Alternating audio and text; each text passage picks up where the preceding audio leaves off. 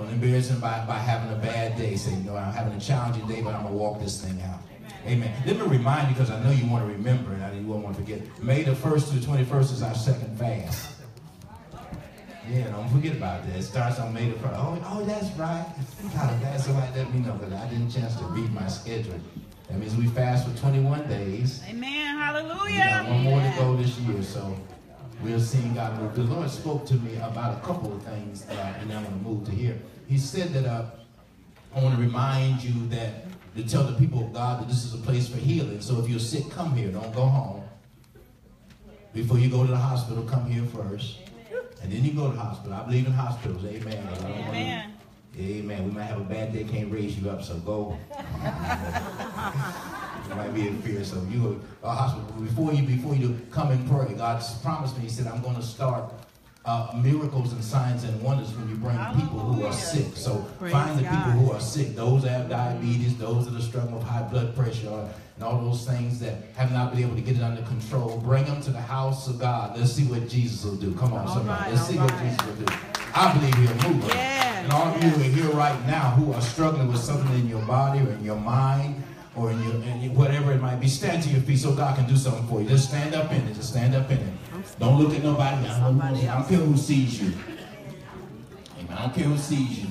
But stretch your hands. So Lord, I just ask right now in the name of Jesus, Lord, we're in your house. We're in your presence, oh God.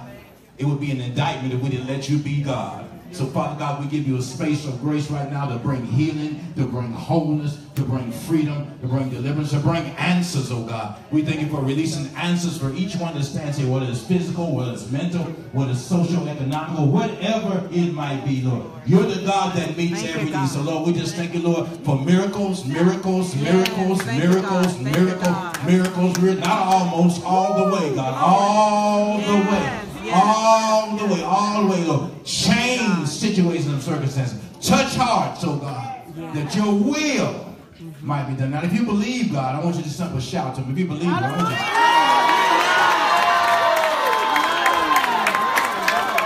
I said, if you believe God, I want you to simply shout to me.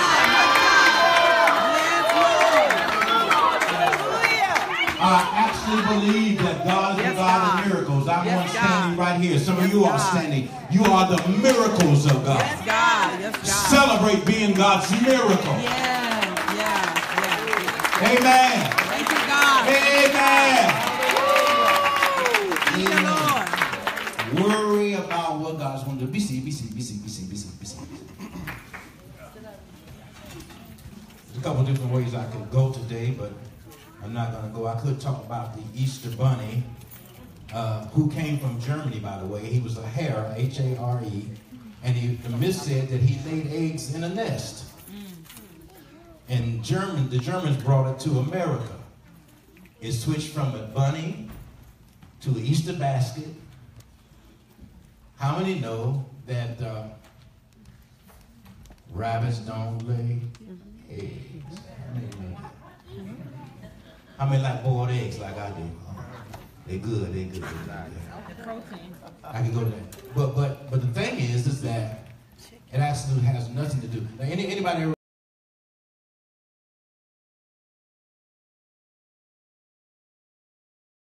birth deals with fertility and all that. So I'm not going to talk about that. Anybody, the Easter parade started with rich folks, y'all, mm-hmm. in Manhattan. What they would do, they would dress to the kill, walk down to the street to their church, and people would stand and watch them. And now today, we just had a parade today. Y'all walked around in there. Yes, we did. But it started had nothing to do with resurrection. Nothing wrong with it. But that's not connected with that. Constantine uh, tried to combine a number of different things. Uh, those of us who, who used to go early in the morning and have sunrise breakfast. Anybody bacon and eggs and so anybody, anybody. And uh, Constantine is the one who had the worship of the sun, and that's what it was all about. So he blended it in because if you can't beat them, listen to this.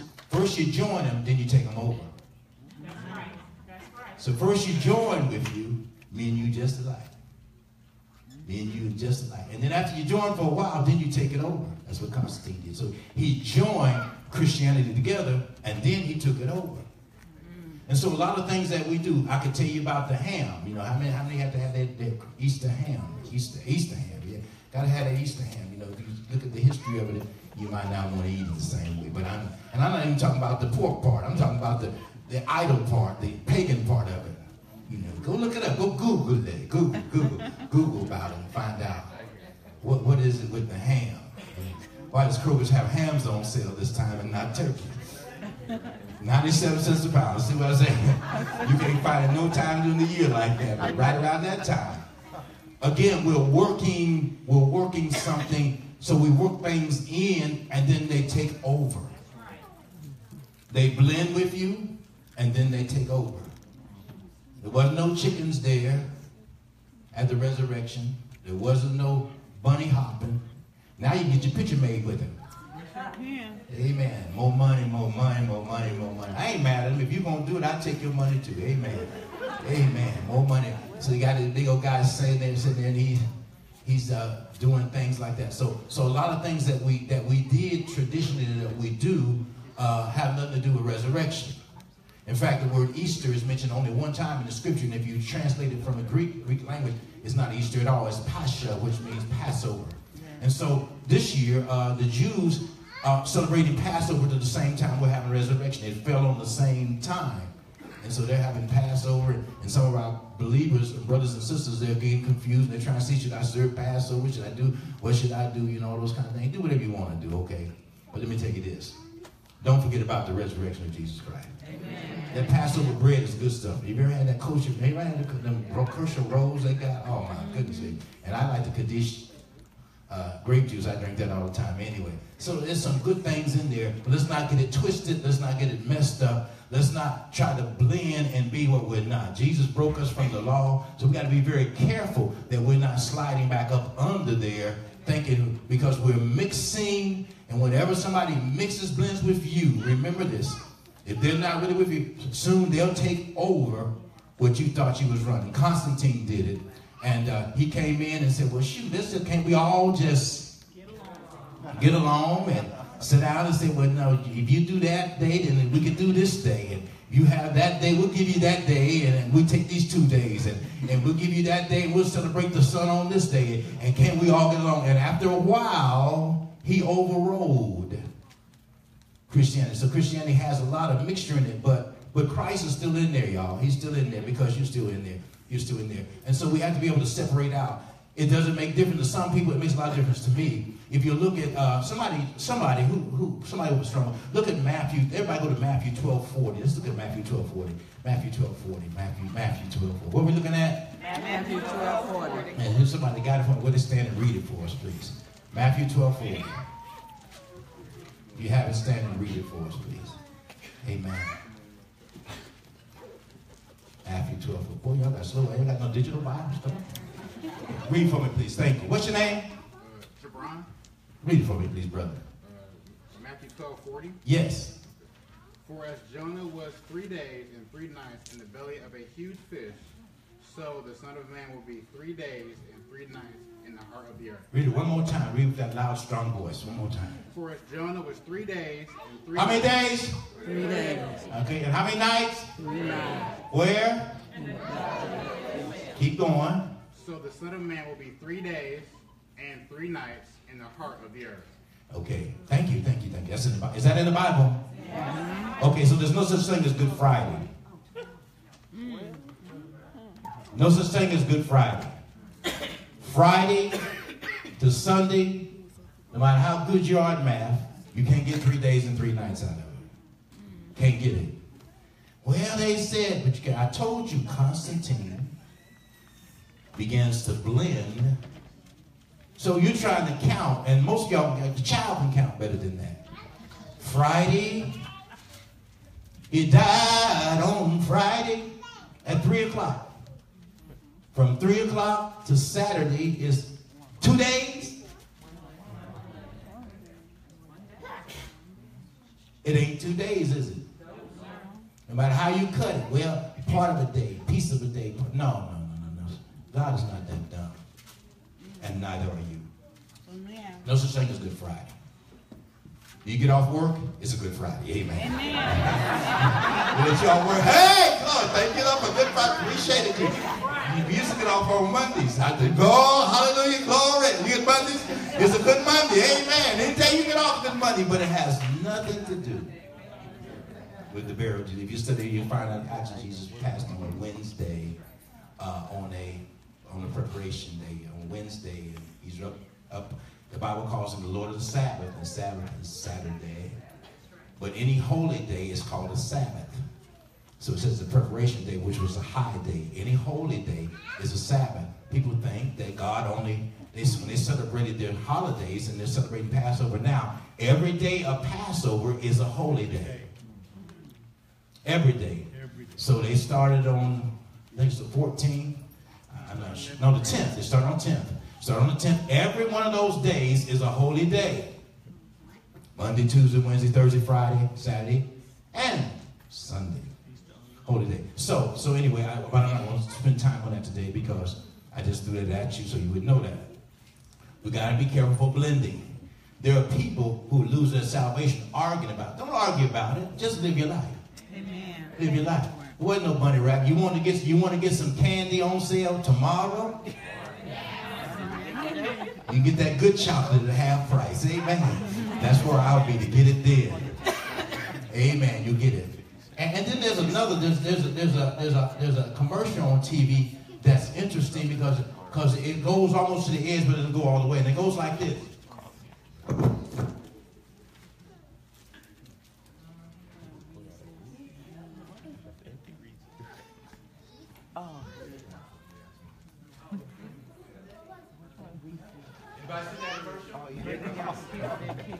Who's singing the song? Marvin Gaye. He's saying, let's get it. With a chocolate. It's one of my favorites, you know. Amen. Messing with my favorite. It turns into an egg. Remember, it turns into an egg.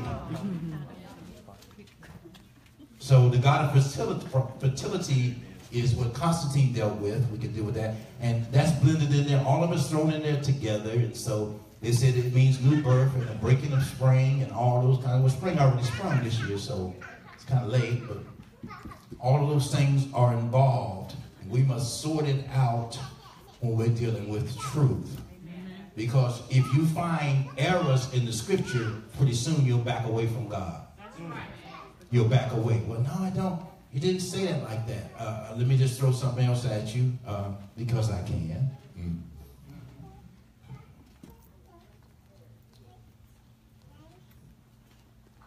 I told you the Constantine worships the sun. That's where we got sunrise from. In Matthew 12, 53, somebody stand and read that for me. Matthew 12, 53. What did I say? Is that right? Okay, good. I got it wrong. Let me, let me, let me. It's Matthew 26, 53. Thank you. I'm glad you're looking. Somebody got Matthew 26, 53, I think it is. Let's see. Anybody got that?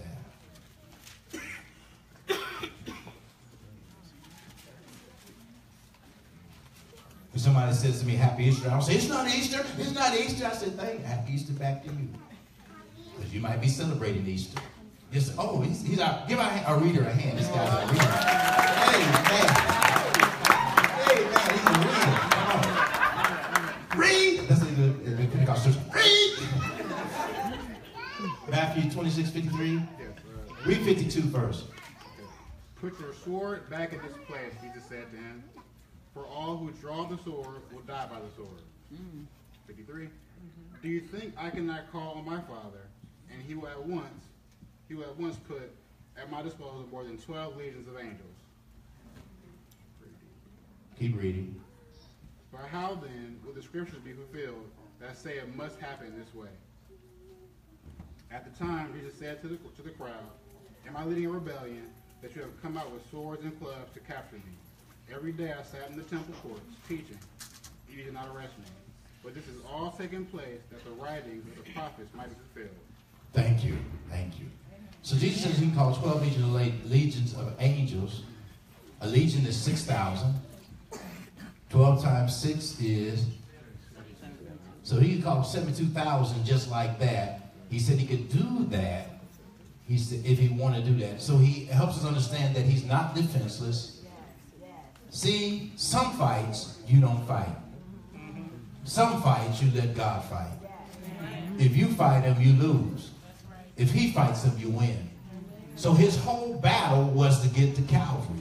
His whole battle was to purchase salvation for us. Thank God he purchased it. He purchased salvation for all of us. He purchased it for us. Thank God for that. He purchased it for us. Now, maybe you or me, we might have got going. But after that first nail, let's renegotiate. So he purchased, and he said, I can call for help. Now, that's important for you to know that. Uh, one scripture says, Nobody takes my life, I lay my own life down. I, and I have power to lay it down, I might get that. And I have power to pick it back up again. That's important. I have power to lay it down. I have power to pick it up. That's important for you to know because in Psalms 22, if you read the entire chapter, you can't think about verse, Don't know, maybe 16, where he says, God did not hide his face from him. The people say, the Lord couldn't stand to look at sin, so he turned his face. Wait a minute now. How many y'all sinned this week? Anybody sinned this week? Anybody sinned last week? Hopefully you didn't sin this morning because you came to church. Amen. If God couldn't look at Jesus, who's carrying our sin, what is he going to do for you and me? Here's what he says about sin. He says, confess your sin. And I'm faithful and just to forgive your sin. Now, does that mean all sin or some sin? All. Which sins will God forgive? All sins. Which sins will you forgive? All. Depends on who sins against Depends on who sins against you. See, see, you have the exception, God doesn't. That's why we can't understand how God moves. Do that? Because God is an equal opportunity forgiver. He forgives people you wouldn't even be bothered with. He can forgives people that you are upset with right now sitting in service. Why you have to say that? Because I needed to say that. He's a, he forgives everyone now. He forgives everyone who requests forgiveness. They got to request forgiveness. It doesn't just happen automatically. They request it and God grants it. He has the power to grant forgiveness. How many asked God to forgive you this week? I didn't have to. I was just I, I was so good this week. I, I just was really good this week. Was you? Liar, liar.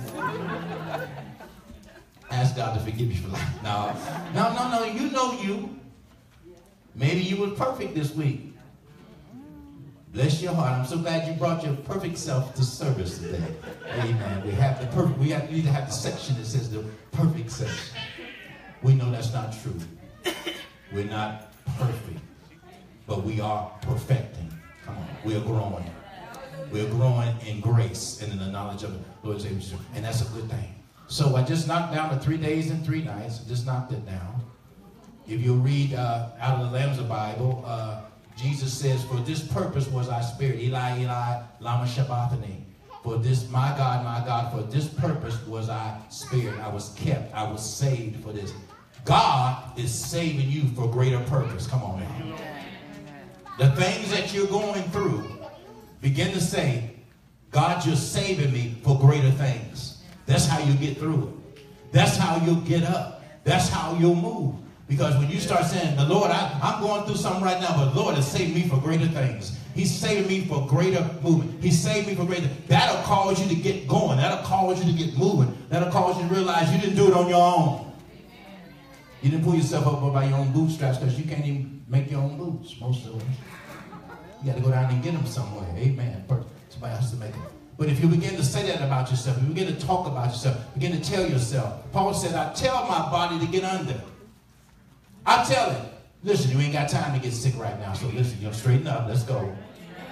Let's go. Now your body's arguing, no, no, I want to be sick. You can't be sick right now. I got free tickets to somewhere. I'm going there. Somebody invited me to dinner. They never invited me to dinner. And it's a good restaurant, you know. It's got five and a half stars to it. It's really good. And we're going. So body get together and you drag yourself. It's amazing what you can make yourself do when you want to make yourself do it. Did you know that? When you want to make yourself get up, you can get up. When you want to make yourself go through, you can. You just tell your body, okay, so we got pneumonia, but we need to go right now. So I rebuke pneumonia, and it'll leave. It'll leave. Pneumonia said, when you get back, I'm going to get you. That's all right, but right now, right now I'm on my way. Right now I'm on my way. So Forget that. And you'd be amazed. Many of you know that. You have pulled yourself beyond, and you don't even know how you got where you need to go, but you determined and set your mind and said, I got to do this. So, hey, if I told you that there were, and I said this before, that there were $100,000 in $100 bills laid on the parking lot, and whoever gets to it, you get as much as you want, while I'm preaching right now, you would be gone. But I put a stipulation. I said it's full of cobras and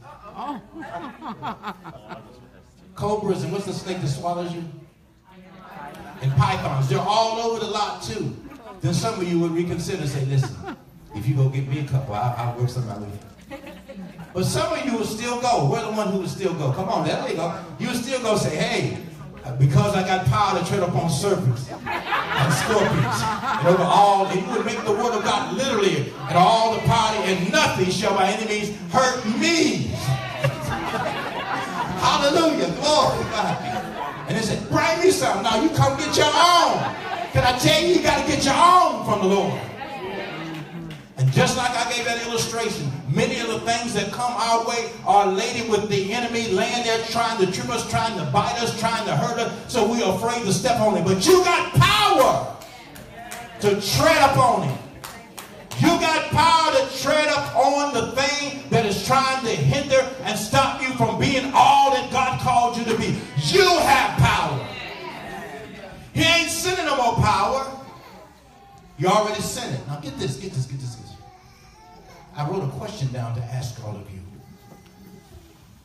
Jesus, we celebrate that Jesus was raised from the dead. Never to die again. Where is Jesus now? Where is the resurrected one at now? Where is he? He's sitting at the right hand of the Father. Oh, he is? Well, who's in you?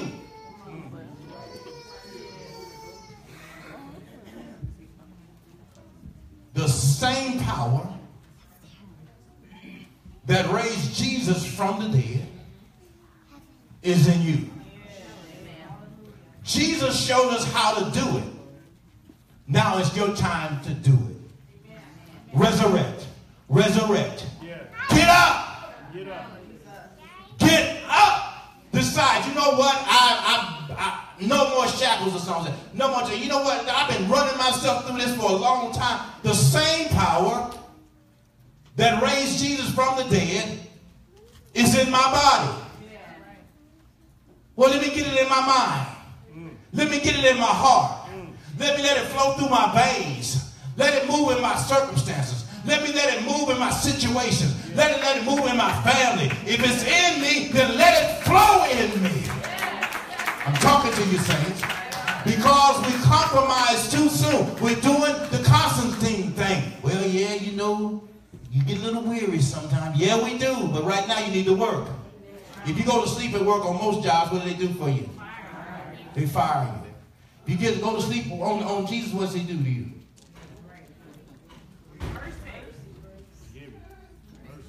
Wonder. Now this this has a little depth to it, y'all. Wonder if your circumstance was sent to wake you up. You've been sleeping on your power. And God knows He got to keep you busy because if He don't, you just you'll have lag time. Amen. See, see, see, the power, the resurrecting power is in me. And the only way it gets used as I execute it. And when I execute it, it begins to flow. Now, how strong is the resurrecting power? How strong is it? Well, it's strong enough to beat death, destruction, disease, sickness, confusion. It's strong enough to do that. The question is, is am I strong enough to try it? Will I try it? When I'm met with a situation that threatens my life or my situation, myself, will I stand up and say, oh, wait a minute, this is not right? Or will I compromise like so many of our preachers are doing across the country now, who are compromised? They blended in now. And after a while, it will take them over, and after a while, you won't even know who they are. Compromise is a dangerous, dangerous, dangerous enemy. That's what Satan did to Job, to not Job, but to Eve. And Adam didn't even have a fight. Jesus. No backbone at all. So what are we going to do about this? There are some things. Let me try to answer the question. Why doesn't God answer my prayer? Because you got enough power to execute what you need. God, I need a better job. All right, well then I, I, I execute, release, release a revelation, release where you need to go, and then go. Well, he gave me three choices. Which one should I take? Which one do you want? I don't know. I'm waiting on Jesus to touch me. He already touched you. He gave you the power to choose. He gave you the power to choose. Look at somebody say, you need to start choosing, make some choices. Tell somebody. Tell somebody behind you, you need to start making some choices. I always tell the story about Grace to myself. Grace said, let's go eat. I said, okay, where you want to go? I don't know. You choose. And guys, if you ever chose, she said, I don't want to go there. No, I don't want to go there. No, I don't want to go there. So now I tell her, you choose. So the other day she gave me some choices because she said, I chose the last three times. I said, yes, she did. I'm going to let you choose. Oh, so if she let me choose, then I ha- she has to go there. And she let me choose. So she let me choose and she said, never mind, let's, we, let's go, let's go. Why don't we get this? And see, my job, my job, I learned my job is to agree. My job is to render to choose. My job, job is to come into agreement because if two shall agree. So I learned to agree. Okay, well, yeah, that's a great idea. And we agree. God wants you to agree with him that you're healed. God wants you to agree with him that you're blessed. God wants you to agree with him that this too shall pass.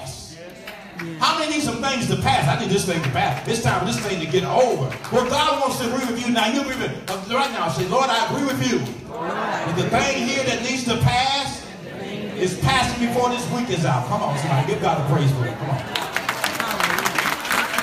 Give him a praise for it.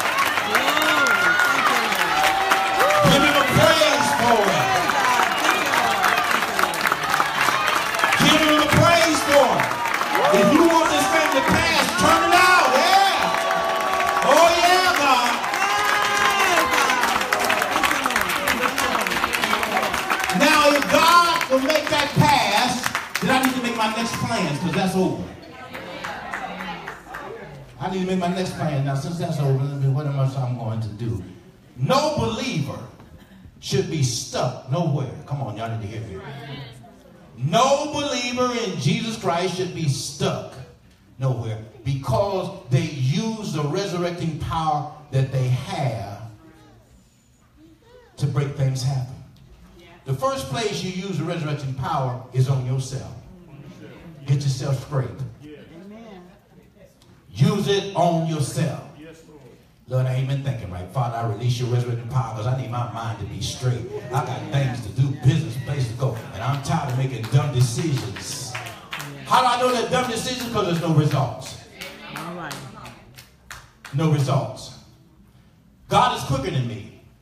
God is faster than me. Is God faster than you? Is God quicker than you? He put a spirit in you that's quicker than you, faster than you. It will go past your mind, past your logic.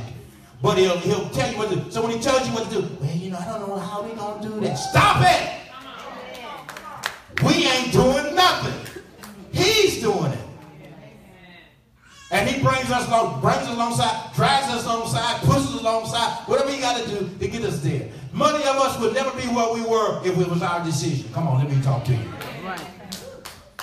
It's because of the grace of God that somebody prayed you through, pushed you through, stood with you, encouraged you, kept telling you the same thing. You all right? You all right? No, I don't feel like all right. You all right? You all right? You all right? You all right? And finally woke up. I'm all right. I'm all right. I didn't know I was all right. You all right? They slapped you into it in the name of Jesus. They pushed you into it. They kept calling you. They kept motivating. They kept telling you. Hallelujah. And finally, you got where you were. Then you step to church tonight. No, miss, I've been walking with Jesus. I always with you liars. Better watch out for fire start dropping off. Nobody gets to where they are by themselves. It's another resurrected person that came into your life and touched your life. And when they touch your life, when they touch your hand, fire began to fall, and, and the Spirit of God stirred you back up again, and you got all excited all by yourself again because God used somebody. God wants to use you. Finish your assignments. Thank you, Lord. Stop getting mad at the people God sent you to. Get on my last nerve. Oh, that's your last one? Time I see they make me sick. They make you sick. That's why God keeps bringing them to you so you can get healed. Thank you, Holy Ghost. Get on my last nerve.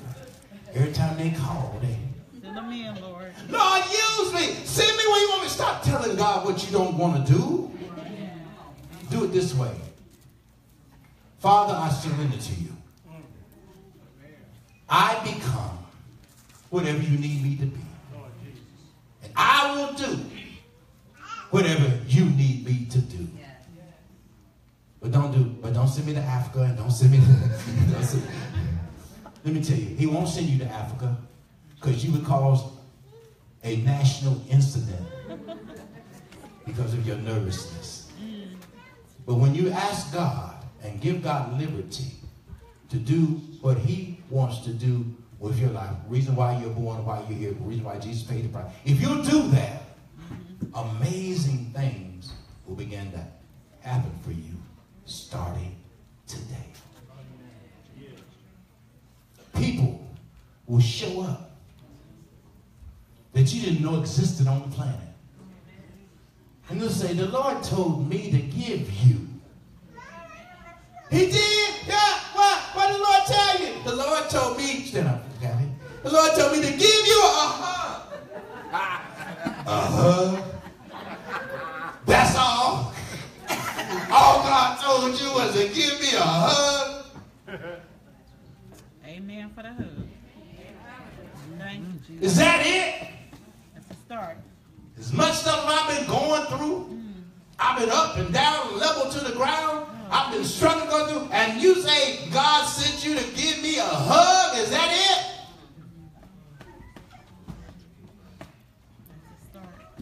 And miss God all day long. Because some people need a hug, Yes. Mm-hmm. Yes. and you need one too. I sure do.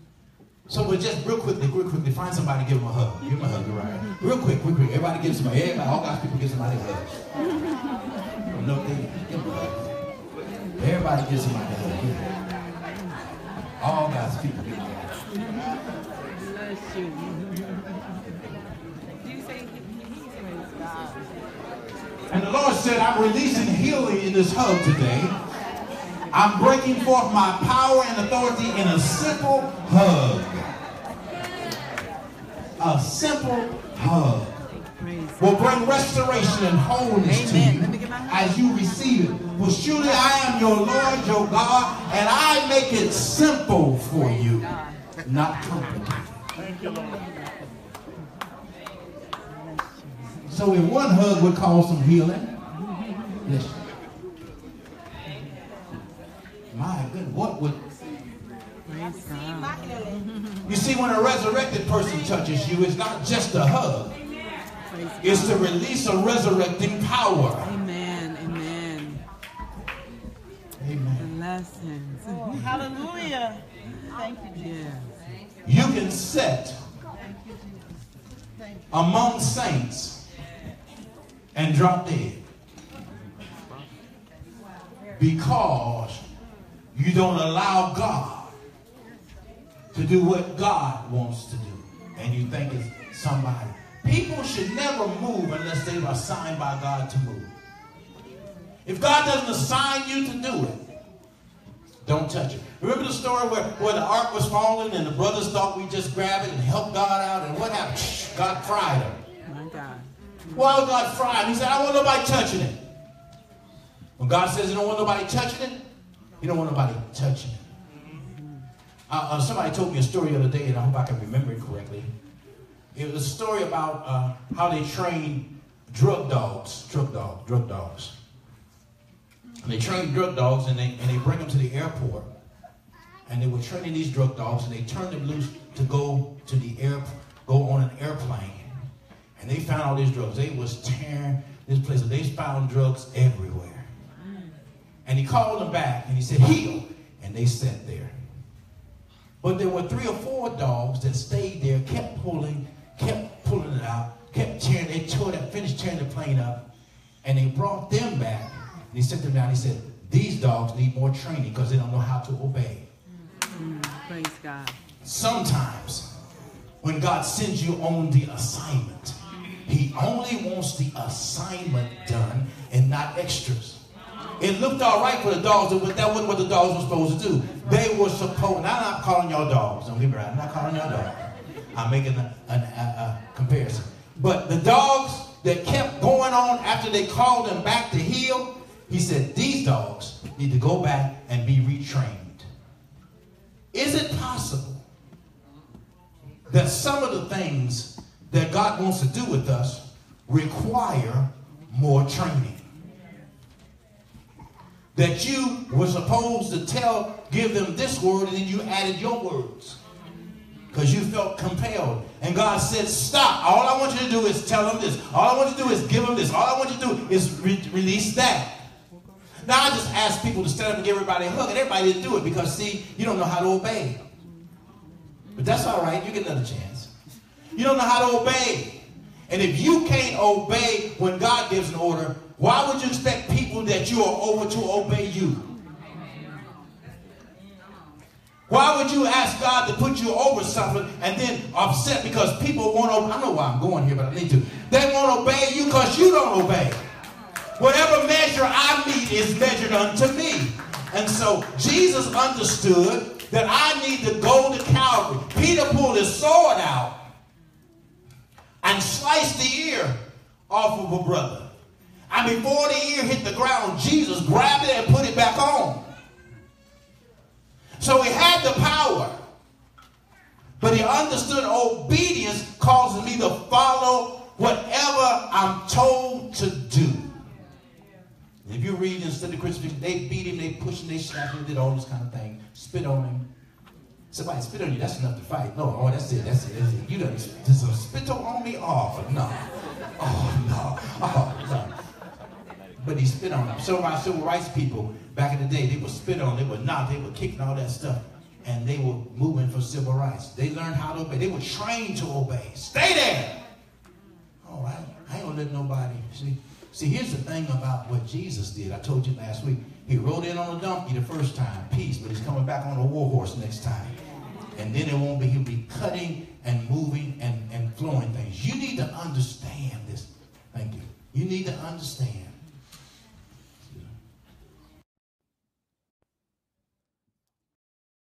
Okay. We need to understand that you're full of power, but it only works out of obedience. So the smart thing to do is to check in with your heavenly Father before you open your mouth. I'm gonna tell you. No, wait, Lord, should I tell him? No. The devil is a lie. You know what? The devil trying to tell me. I will tell you because somebody can tell you. No. Remember I told you there's such thing as destructive truth? Which means it's true, but it destroys. We have to learn how to not take destructive truth. But it's true.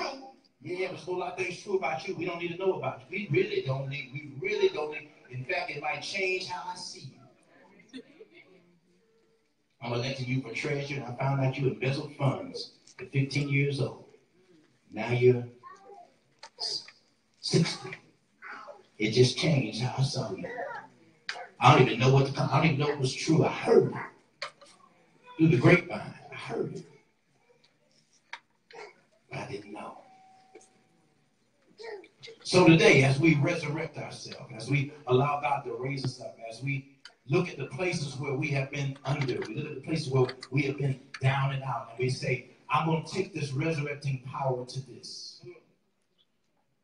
I have to take the resurrecting power to my marriage. But sometimes grace doesn't act right. Amen. Sometimes James, every now and then, She viewing. She online. doesn't act right. But after 40 years together, I just about got her in training. in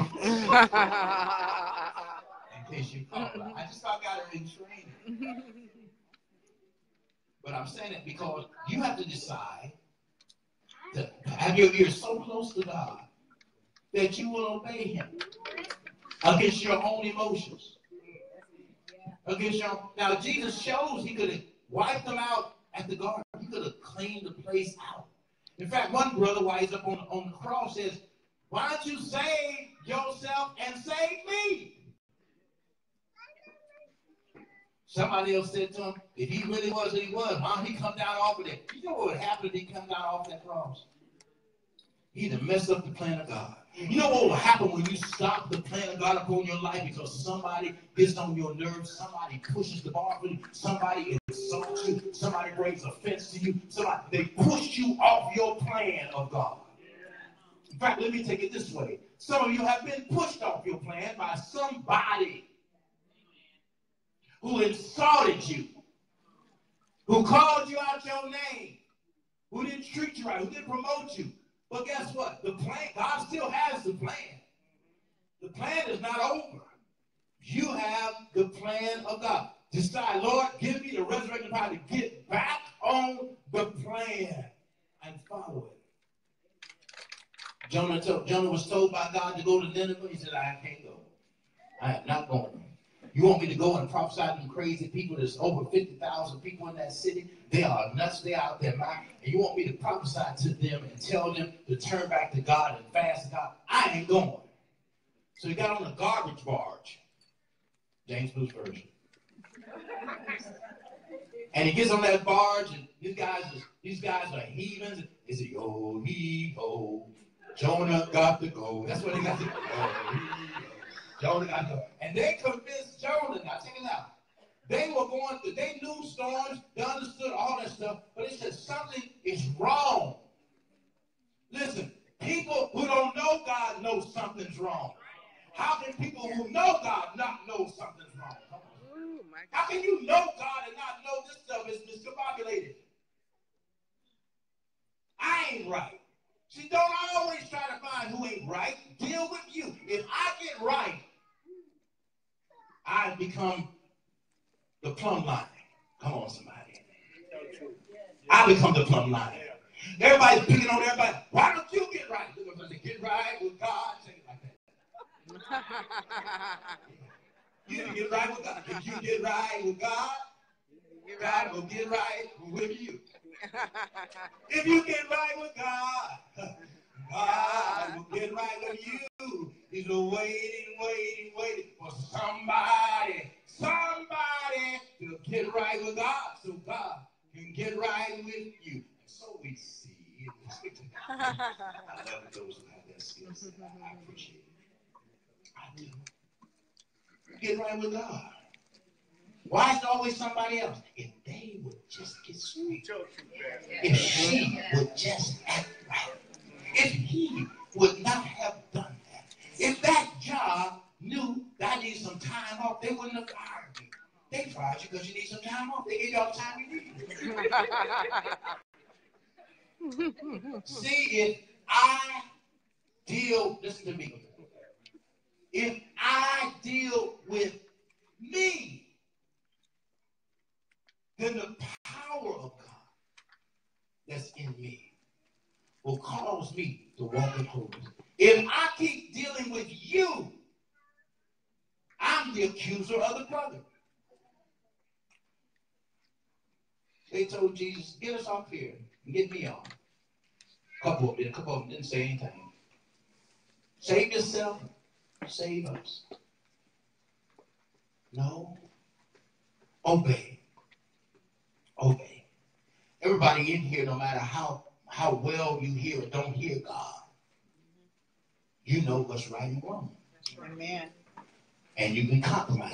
It's right, but but but but but but but you see, I I'm tired. Well, I got resurrection power to heal. See, see, see, let me tell you something about being tired, about being sick, about being under all that stuff. All of you all experience that. That's part of life. No how much you pray, speak in tongues, all that, you might get you don't get sick sometimes. You should stay sick. The worst sickness is not in your body, it's in your head. It's the worst sickness. When you sit up here and go, Jesus help me. You take Jesus to reconstruct your mind your thoughts. We call it crazy, lunatic, all of that. She's saying, she's saying. She's saying. I hear it. Saying, she's saying. All right. So I want you to allow the Christ that's in you to arise. The word resurrection, I'm going to close, means to stand up, to come, come alive from the dead, to be restored back up. And some of us have been through, uh, we're kind of like war babies. We've been through war. We've been torn and pushed and tangled up and all this. And so we need God to heal us. He can't send us nowhere because we're all broken up inside.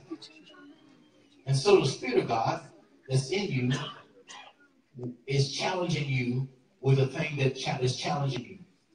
Whatever is challenging you, God's in behind it. He wants you to step it up and believe in for victory. We put it back on you.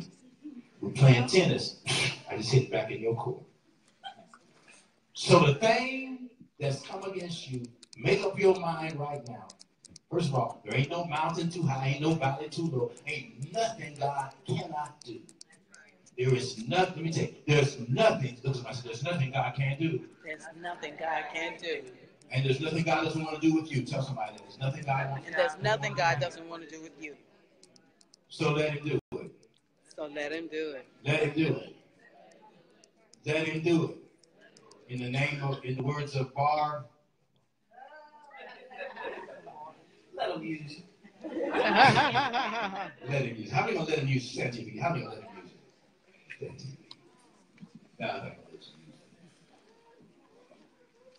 Father, we thank you for your incredible, remarkable faith that you give us. Lord, we thank you that you'll let us use, and we'll let you use our lives. Whatever that might be, Lord. Yes, Lord. We surrender to that. We're open to that. We thank you for that. Father, this very hour, we ask, the God, that you seal the covenants that we made with you when we signed on to accept you as our Lord and Savior. Oh, we cut a covenant. Yes, Lord. Yes, that there not be a covenant breaker in the house. Mm. But revive those of us, Lord, who's got a little shaky with our covenant. Lord, because you paid the price, you're the owner possessor. And Father, when we take communion today, let massive healing break forth. Let great restoration break forth. Let great revelation be released. Let great things begin to happen for the people of God as we release over this communion your grace, your favor, your power, your authority, your wisdom, your knowledge. Father, give them things to journal today. Give them revelations and dreams. Give them visions, oh God, when we receive today, Lord. Let things happen supernaturally, Lord. We release it in this house, oh God. Let them have a takeout package, Lord. Let that resurrecting power just be off of when they leave this house today. It was the same power that raised you, your son from the dead, is raising us up, and we thank you right now. Amen. We'll Amen. Praise God. God bless you all. Have a great day.